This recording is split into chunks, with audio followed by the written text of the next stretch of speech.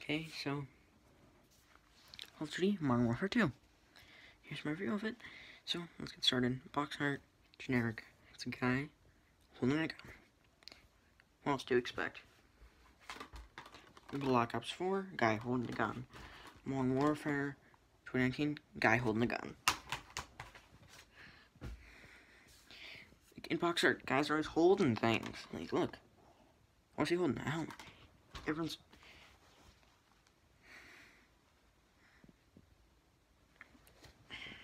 have right. Okay, and then the font is pretty cool. Again, the Modern Warfare font. Back of the box art. It shows you some reviews, but really tiny. That's okay. It shows you a little bit of gameplay. And then standard Xbox stuff down there. Not for resale. Well, I bought it at GameStop, so I guess I just resold it. Okay, so I honestly don't know if there's a manual.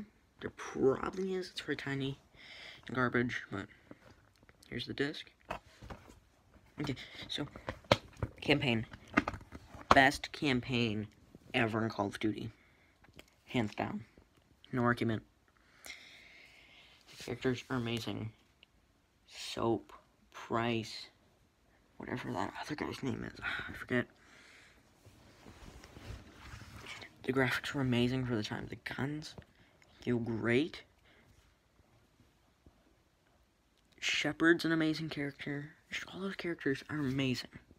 To have a campaign that good, like that instantly, like if if this is only the campaign itself, that's boosting its rating to a certain extent. So, how's the multiplayer? Great. It's great. The campaign's the campaign's 10 out of 10. How's the multiplayer? It's amazing. It's amazing. The trick shots, sniping feels good. Split screen's fun. The tactical nuke, the maps, like Rust, Terminal,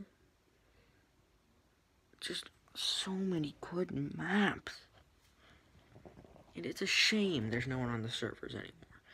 Please, Infinity Ward, make a COD Modern Warfare 2 remastered multiplayer. I'll review the other campaign remastered someday, but spoiler, it's amazing. Just, the hidden intel. Just, oh my gosh. I'm hyped talking about this game. Spec Ops. Yeah, I haven't really played enough to form an opinion, but what I've played, it's really fun. Okay, I think Modern Warfare 3 had the best Spec Ops, honestly. Which, I don't have that game here right now with me, so I can't do that. But, I'll get to it eventually. This game is a flat review of a 9.9 out of 10.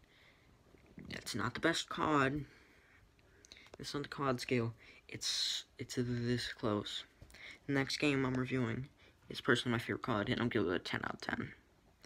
Now it's people. It's very hated, and it's, it's not an advanced one. It's a modern one, if you know which one. So watch out for that later today, and thank you.